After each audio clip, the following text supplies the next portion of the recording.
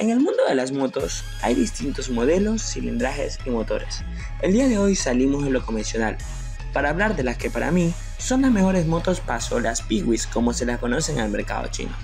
Para hablar de estas es necesario saber que lo más importante es su rendimiento en cuanto a calidad-precio, siendo estas baratas y que a la vez sean cómodas para la ciudad, destinadas para su buena movilidad dentro y fuera de la misma.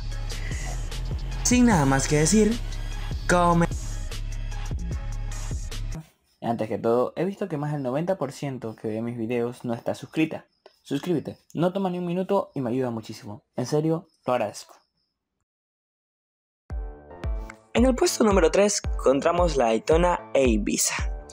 Un modelo 150cc es un modelo tipo scooter, como todas las que vamos a ver en el top.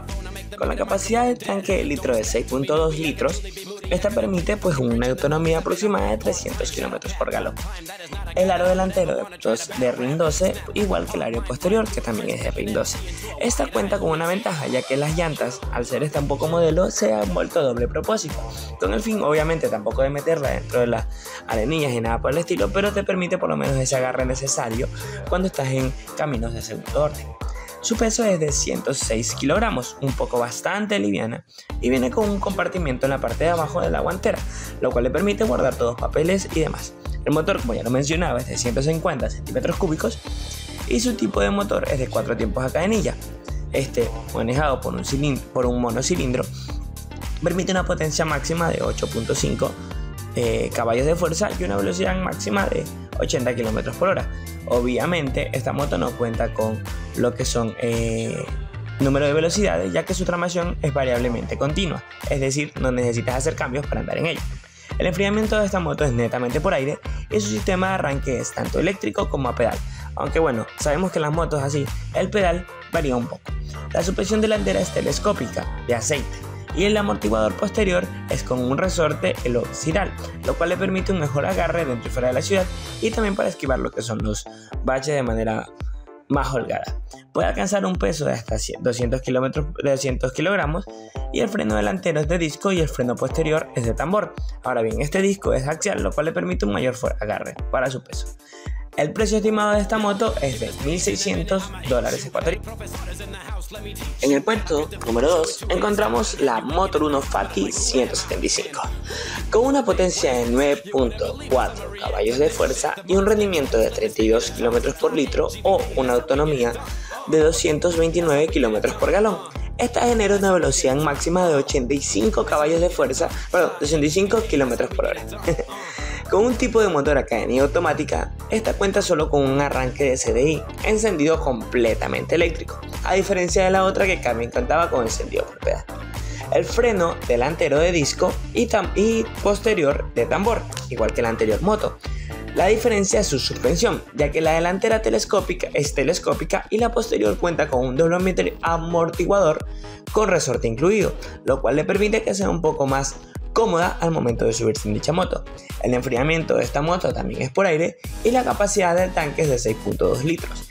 Cuenta con una llanta delantera 130-60 RIN 12 y una posterior 130-60 RIN 12. Ahora bien, sus llantas vienen de paquete con forma de pista, lo cual hace que sea el agarre netamente para ciudad.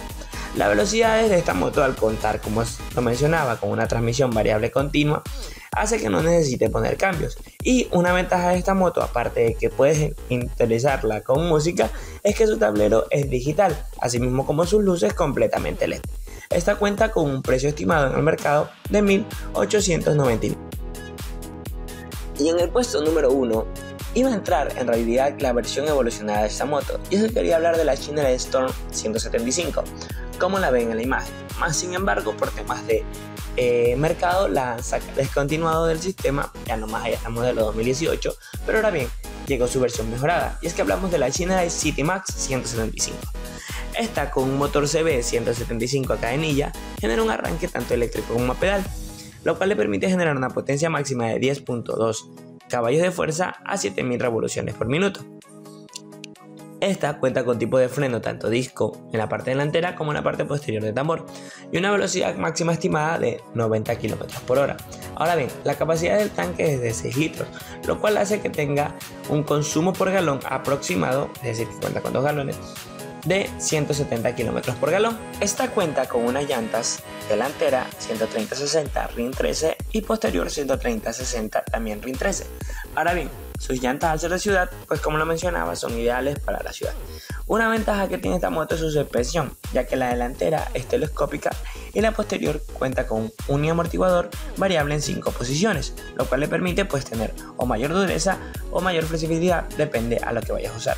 Su enfriamiento es netamente por aire y su transmisión, como lo mencionaba, pues también es variable, continua, es decir, que va aumentando a medida que vayas aumentando las velocidades y revoluciones. Su precio estimado en el mercado es de aproximadamente 2.000 dólares. Bueno, eso ha sido todo de mi parte, espero les haya gustado el video, ya saben qué tienen que hacer, darle like, comentar, compartir, conmigo será hasta la próxima semana con un nuevo video, nos vemos, adiós.